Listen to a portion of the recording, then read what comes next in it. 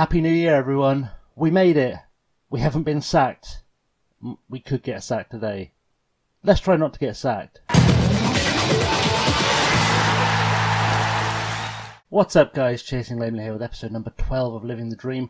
Don't forget to like and subscribe, because if you don't like and subscribe, you'll never see if we turn this around.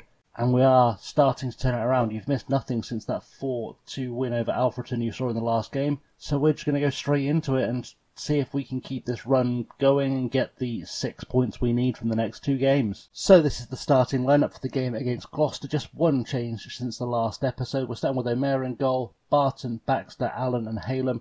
Andy Williams comes in in place of the right winger whose name I've just completely forgotten because my brain went blank. Troy Shelley from the last game because Troy Shelley was not fully fit. Steve Hardy and Kian Yari at the centre of midfield.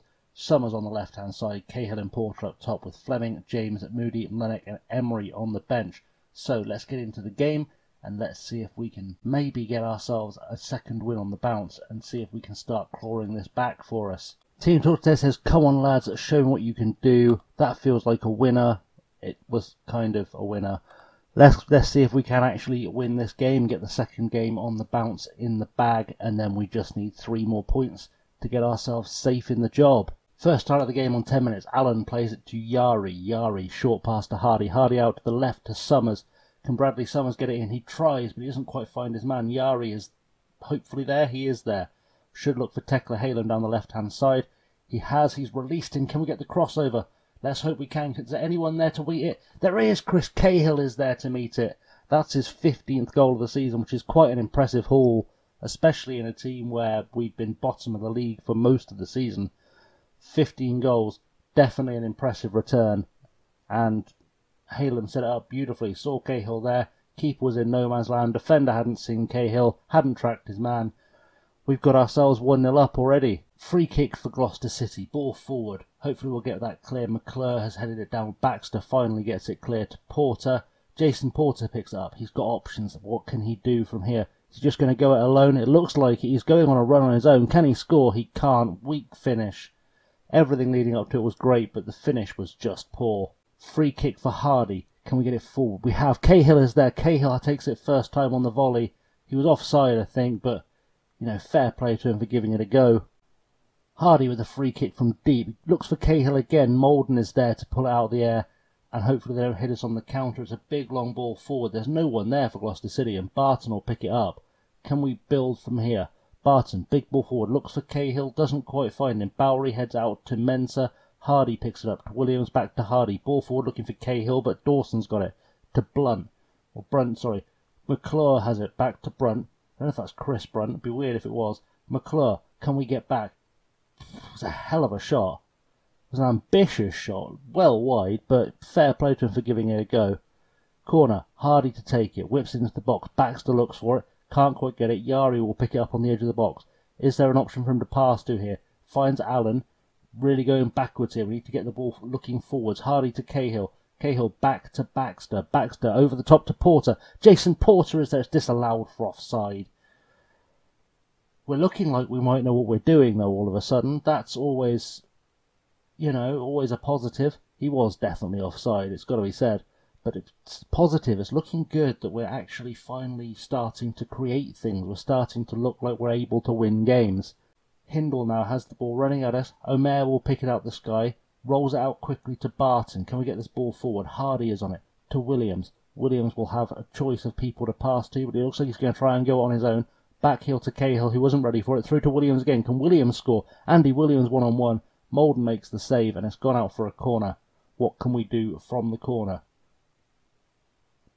Looks like it'd be Steve Hardy to take it. He's played it in deep. Cahill looks like he was going to get to it, but Daly was there. Hardy back into the mix. There's no one there again. Gunning gets it clear, and they've they've escaped. It's half time and one 0 up. We're looking okay. We're dominating on every stat, so we're we're starting to come together, looking like a team. This new method of playing young players who've got a bit of pace to them it seems to be doing well. We've played well so far. Still room for improvement. The same people are motivated as before, but it worked out okay for us the first time. So we're going to see if we can keep up the momentum. Carline with a free kick. Let's get rid of this. Omer fists it away. Whittle, Hardy gets rid of it though.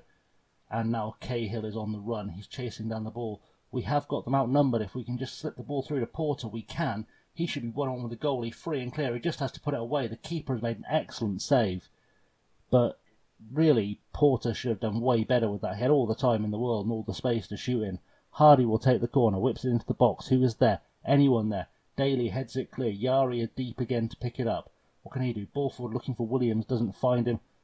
Barton looked like he might have got it when Mensah picked it up. Bowery plays it forward, and that's very deep, very wide, and going nowhere. We've made it through about 70 minutes, and I'm just looking at the team, seeing what's occurring with people. And Nathan Baxter is tiring. I want to keep him on a little bit longer. It's really the wingers that have got me concerned. I think we're going to put Mlenek on on the left hand side, and I guess we're going to take the risk of putting Moody on as the right winger. I want to take Freddie Barton off because he's not played very well, but I'm very aware Nathan Baxter has tired a little bit, so we're just going to keep that last sub back and I'll make the decision when I need to make the decision. Just as I'm making the decision to finally take off Barton on the right hand side, put Charlie James on, we've got a free kick, we've put it forward. Yari tries to take it forward, doesn't quite make much progress. Mlenek, though, has got it on the left hand side, he can cut inside from where he is, and he should be dangerous from there. Moody on the right hand side picks up. Ball over the top looking for Mlenek again. Can Mlenek finish it? He can't.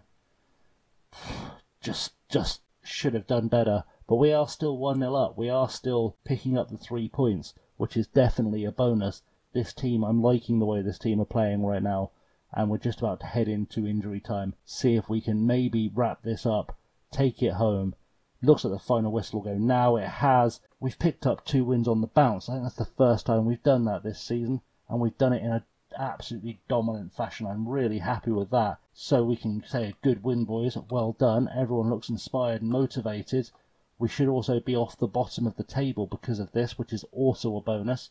We'll have a little look in just a second because it should pull up a league table for us. A good win. It's taken us, as I said, hopefully off the bottom. We'll see now. We are off the bottom. Things are looking okay. One game to go. If we can win that, we might find ourselves outside of the relegation zone. Miracles do happen. Confirmation here, we need to get three points from the next match. However, the downside is that our next match is against Guiseley, who are currently top of the league and playing really, really well as far as I'm aware. We can just have a look at their little bit their recent league. In fact, they're starting to drop points. They might be vulnerable. We might have found the best time to play them. So I can't promise when the next episode is. Those of you who saw the channel update today will know that I'm sort of taking it easy over the next month because I've got exams coming up. So I can't promise you the next episode will come on Monday. The next episode will be out as soon as I have the time to get it out, is essentially what's going to go on here. So thanks for watching, guys. Join us next time for the Guiseley game. Remember to hit like and subscribe. It will appear there. And hit me up on the socials below, the Twitter, the Insta, and the Patreon at Chasing Lamely. I'll keep you up to date and I'll let you know when the new episode comes out. But like I said, I've got to put the exams first, so that's kind of going to be the priority. But until next time, guys, I have been chasing lamely, and I'll see you all very soon. Have a good one.